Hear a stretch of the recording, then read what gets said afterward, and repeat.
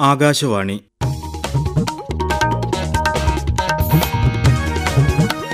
നമസ്കാരം. പ്രാദേശിക വാർത്തകൾ. വായിക്കുന്നത് സിയാബ് കൊയിൽക്കാവ്. പ്രധാന വാർത്തകൾ. വൻകരകളുടെ ആവേശവും ആരവവും ഉൾക്കൊണ്ട് ഫിഫ ലോകകപ്പ് ഫുട്ബോൾ മേളയ്ക്ക് ഖത്തറിൽ രാത്രി തുടക്കമാകും. ഉദ്ഘാടന ചടങ്ങിൽ പങ്കെടുക്കാൻ ഉപരാഷ്ട്രപതി ജഗ്ദീപ് ധൻകർ ദോഹയിലേക്ക് യാത്ര തിരിച്ചു. ഗോവ രാജ്യാന്തര ചലച്ചിത്രമേളയ്ക്ക് ഇന്ന് തിരിതെളിയും. പാർലമെന്റ് ശീതകാല സമ്മേളനം ഡിസംബർ ഏഴ് മുതൽ ഇരുപത്തിയൊമ്പത് വരെ. കേരളത്തിലെ ആദ്യ പൊതുമേഖലാ സർഫിംഗ് സ്കൂൾ ബേപ്പൂർ ഗോദീശ്വരം ബീച്ചിൽ മന്ത്രി പി എ മുഹമ്മദ് റിയാസ് ഉദ്ഘാടനം ചെയ്തു. ഇന്ത്യ ന്യൂസിലാൻഡ് രണ്ടാം ട്വന്റി ട്വന്റി ക്രിക്കറ്റ് മത്സരം ആരംഭിച്ചു. ടോസ് നേടി ആതിഥേയരായ ന്യൂസിലാൻഡ് ബൌളിംഗ് തെരഞ്ഞെടുത്തു. വാർത്തകൾ വിശദമായി. വൻകരകളുടെ ആവേശവും ആരവവും ഉൾക്കൊണ്ട് ലോകത്തെ ഏറ്റവും വലിയ ഫുട്ബോൾ മേളയ്ക്ക് ഖത്തറിലെ ദോഹയിൽ ഇന്ന് തുടക്കമാകും. ഒരു പശ്ചിമേഷ്യൻ രാജ്യത്ത് ആദ്യമായാണ് ഫിഫ ലോകകപ്പ് ഫുട്ബോൾ മത്സരം നടക്കുന്നത്. ശൈത്യകാലത്തെ ഖത്തറിനെ ആവേശത്തിന്റെ ഉഷ്ണഭൂമിയാക്കി മാറ്റുന്ന ദിവസങ്ങളാണ് വരാനിരിക്കുന്നത്. ഖത്തറിൽ നിന്ന് ഒരു റിപ്പോർട്ട്.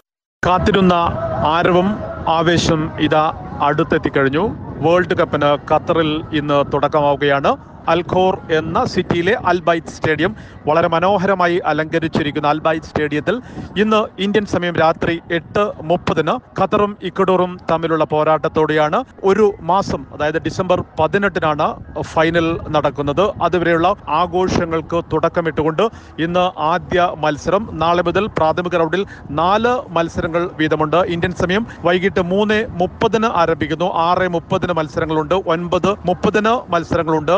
അർദ്ധരാത്രി പന്ത്രണ്ട് മുപ്പതിന് മത്സരങ്ങളുണ്ട്. അങ്ങനെ ഏഷ്യ ആതിഥേയത്വം വഹിക്കുന്ന രണ്ടാമത് ലോകകപ്പ് അറബ് ലോകം ആതിഥേയത്വം വഹിക്കുന്ന ആദ്യ ലോകകപ്പ്. ഏതാനും മണിക്കൂറുകൾക്കകം ആരംഭിക്കുമ്പോൾ എല്ലാ സജ്ജീകരണങ്ങളും പൂർത്തിയാക്കി ഫുട്ബോൾ ലോകവും സമൂഹവും ഖത്തറിന് വേണ്ടി കാത്തിരിക്കുകയാണ്. ദോഹയിൽ നിന്ന് ആകാശവാണിക്ക് വേണ്ടി കമാൽ വരദൂർ.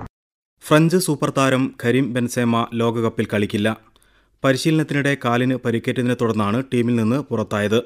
നിലവിലെ ബലൂൺ ദി ഓർ പുരസ്കാര ജേതാവായ ബെൻസോമയുടെ അസാന്നിധ്യം ഫ്രാൻസിന് വൻ തിരിച്ചടിയായാണ് വിലയിരുത്തൽ. ഉപരാഷ്ട്രപതി ജഗ്ദീപ് ധൻകർ രണ്ടു ദിവസത്തെ ഖത്തർ സന്ദർശനത്തിന് യാത്ര തിരിച്ചു. ദോഹയിൽ ഫിഫ ലോകകപ്പ് ഉദ്ഘാടന ചടങ്ങിൽ അദ്ദേഹം ഇന്ത്യയെ പ്രതിനിധാനം ചെയ്യും. സന്ദർശനവേളയിൽ ഖത്തറിലെ ഇന്ത്യൻ സമൂഹവുമായി അദ്ദേഹം സംവദിക്കുകയും ചെയ്യും. ഗോവ രാജ്യാന്തര ചലച്ചിത്രമേളയ്ക്ക് ഇന്ന് തുടക്കം. പനാജിയിലെ ഡോക്ടർ ശ്യാമപ്രസാദ് മുഖർജി ഇൻഡോർ സ്റ്റേഡിയത്തിലാണ് ഒമ്പത് ദിവസത്തെ ചലച്ചിത്രോത്സവത്തിന് തിരശീല ഉയരുന്നത്. ചലച്ചിത്ര പ്രതിഭകളായ മൃളാൻ ടാക്കൂർ വരുൺ ധവാൻ കാതറിൻ തെരേസ സാറ അലി ഖാൻ കാർത്തിക് ആര്യൻ അമൃത ഖാൻ വിൽക്കർ തുടങ്ങിയവർ ഉദ്ഘാടന ചടങ്ങിൽ പങ്കെടുക്കും. വാർത്താവിതരണ പ്രക്ഷേപണ മന്ത്രി അനുരാഗ് സിംഗ് താക്കൂർ സഹമന്ത്രി doctor L Murugan Goa governor P S Sreedharan Pillai മുഖ്യമന്ത്രി പ്രമോദ് സാവന്ത് തുടങ്ങിയവരും മേളയുടെ പ്രാരംഭത്തിന് സാക്ഷികളാകും. ഇന്ത്യൻ സിനിമയുടെ കഴിഞ്ഞ നൂറു വർഷത്തെ പരിണാമം എന്നതാണ് ഇത്തവണത്തെ പ്രമേയം. ആസാദിക്ക അമൃത് മഹോത്സവത്തിന്റെ സത്ത ഉൾക്കൊള്ളുന്നതായിരിക്കും ഇത്തവണത്തെ ഗോവ ചലച്ചിത്രമേള. പാർലമെന്റ് ശീതകാല സമ്മേളനം ഡിസംബർ ഏഴിന് ആരംഭിക്കും. ഇരുപത്തിയൊമ്പത് വരെ തുടരും. ലോക്സഭ രാജ്യസഭാ സെക്രട്ടേറിയറ്റുകൾ ഇത് സംബന്ധിച്ച് വിജ്ഞാപനമിറക്കി. സമ്മേളന കാലയളവിൽ സഭയ്ക്കകത്ത് സൃഷ്ടിപരമായ ചർച്ചകൾ പ്രതീക്ഷിക്കുന്നതായി പാർലമെന്ററി കാര്യമന്ത്രി പ്രഹ്ലാദ് ജോഷി പറഞ്ഞു. ഇന്ന് ലോക ശിശുദിനം. ഇതിന്റെ ഭാഗമായി ദേശീയ ബാലാവകാശ സംരക്ഷണ കമ്മീഷൻ ശിശുക്ഷേമ സമിതി ചൈൽഡ് ചെയർപേഴ്സൺമാർക്കും അംഗങ്ങൾക്കുമായി ഡൽഹിയിൽ പരിശീലന പരിപാടികൾ സംഘടിപ്പിച്ചിട്ടുണ്ട്. ആവശ്യമായ എല്ലാ കുട്ടികളിലേക്കും പരിചരണവും സംരക്ഷണവും എത്തിക്കാൻ ഗവൺമെന്റ് പ്രതിജ്ഞാബദ്ധമാണെന്ന് വനിതാ ശിശു വികസന മന്ത്രാലയം അറിയിച്ചു. വിരമിച്ച സിവിൽ സർവീസ് ഓഫീസർ അരുൺ ഗോയലിനെ പുതിയ തെരഞ്ഞെടുപ്പ് കമ്മീഷണറായി നിയമിച്ചു. മൂന്ന് തെരഞ്ഞെടുപ്പ് കമ്മീഷണർമാരിൽ ഒരാളായ രാജീവ് കുമാർ കഴിഞ്ഞ മെയ്യിൽ മുഖ്യ തെരഞ്ഞെടുപ്പ് കമ്മീഷണറായി ചുമതലയേറ്റതിനെ തുടർന്നുണ്ടായ ഒഴിവിലാണ് നിയമനം. ജമ്മുകാശ്മീരിലെ അനന്ത്നാഗ് ജില്ലയിൽ ബിജ്ബെഹാരിയിൽ സുരക്ഷാസേനയും ഭീകരരും തമ്മിലുണ്ടായ ഏറ്റുമുട്ടലിൽ ഒരു ലഷ്കർ ഇ തൊയ്ബ ഭീകരനെ സുരക്ഷാസേന വധിച്ചു. തിരച്ചിലിനിടെ പുലർച്ചെ ഭീകരർ സുരക്ഷാസേനയ്ക്ക് നേരെ വെടിയുതിർത്തതിനെ തുടർന്നാണ് ഏറ്റുമുട്ടൽ ആരംഭിച്ചത്. വളം മേഖലയുമായി ബന്ധപ്പെട്ട വിഷയങ്ങളിൽ രാസവള വകുപ്പ് സെക്രട്ടറി അരുൺ സിംഗാളുമായി ജനങ്ങൾക്ക് തത്സമയ ഫോണിൻ സംവാദത്തിന് അവസരമൊരുക്കുന്നു. ദ്വിഭാഷാ പ്രോഗ്രാമായ പബ്ലിക് സ്പീക്കിൽ നാളെ രാത്രി ഒമ്പത് മുപ്പത് മുതൽ ഒരു രാജ്യം ഒരു വളം പദ്ധതി രാസവളങ്ങളുടെ ലഭ്യത തുടങ്ങി വളം മേഖലയുമായി ബന്ധപ്പെട്ട വിഷയങ്ങളിൽ ശ്രോതാക്കൾക്ക് ഈ മേഖലയിലെ വിദഗ്ധരോട് ചോദ്യങ്ങൾ ചോദിക്കാം. ഭരണഘടനാ ശില്പികളോട് ആദരസൂചകമായി ഈ മാസം ഇരുപത്തിയാറിന് ഭരണഘടനാ ദിനമായി ആചരിക്കും. കേന്ദ്ര ഗവൺമെന്റ് വിജ്ഞാപനപ്രകാരം സംസ്ഥാനത്തെ മുഴുവൻ ഗവൺമെന്റ് ഓഫീസുകളിലും സ്ഥാപനങ്ങളിലും ഭരണഘടനാ ദിനമായ നവംബർ ഇരുപത്തിയാറിന് രാവിലെ പതിനൊന്ന് മണിക്ക് ഭരണഘടനയുടെ ആമുഖം വായിക്കും. അസംബ്ലികളിൽ ഭരണഘടനയുടെ ആമുഖവും മൗലിക കടമകളും വായിച്ച് മുഴുവൻ വിദ്യാഭ്യാസ സ്ഥാപനങ്ങളും ആചരണത്തിന്റെ ഭാഗമാകും. ഇരുപത്തിയാറിന് അവധിയായ സാഹചര്യത്തിൽ ഇരുപത്തിയഞ്ചിനാകും വിദ്യാഭ്യാസ സ്ഥാപനങ്ങളിൽ ഭരണഘടനാ ദിനാചരണം. രണ്ട് ദിവസത്തെ സന്ദർശനത്തിനായി രാജ്യരക്ഷാമന്ത്രി രാജ്നാഥ് സിംഗ് മറ്റന്നാൾ കംബോഡിയയിലേക്ക് യാത്ര തിരിക്കും. ആസിയാൻ രാജ്യരക്ഷാമന്ത്രിമാരുടെ യോഗത്തെ അഭിസംബോധന ചെയ്യുന്ന രാജ്നാഥ് സിംഗ് കംബോഡിയൻ പ്രധാനമന്ത്രിയുമായും കൂടിക്കാഴ്ച നടത്തും. പ്രാദേശിക വാർത്തകളാണ് കേൾക്കുന്നത്. സംസ്ഥാന ഗവൺമെന്റ് സ്ഥാപനങ്ങളിൽ വഴിവിട്ട നിയമനങ്ങൾക്ക് ശ്രമമുണ്ടായെന്ന് വ്യക്തമായ സാഹചര്യത്തിൽ കണ്ണൂർ സർവകലാശാല വൈസ് ചാൻസലറും തിരുവനന്തപുരം മേയറും രാജിവെക്കാൻ തയ്യാറാകണമെന്ന് കേന്ദ്ര സഹമന്ത്രി വി മുരളീധരൻ ആവശ്യപ്പെട്ടു. ഇതിൽ ജുഡീഷ്യൽ അന്വേഷണത്തിന് ഗവൺമെന്റ് തയ്യാറാകണമെന്നും അദ്ദേഹം കൊച്ചിയിൽ വാർത്താസമ്മേളനത്തിൽ ആവശ്യപ്പെട്ടു. കേരളത്തിലെ ആദ്യത്തെ പൊതുമേഖലാ സർഫിംഗ് സ്കൂൾ കോഴിക്കോട് ബേപ്പൂർ ഗോദീശ്വരം ബീച്ചിൽ മന്ത്രി പി എ മുഹമ്മദ് റിയാസ് ഉദ്ഘാടനം ചെയ്തു.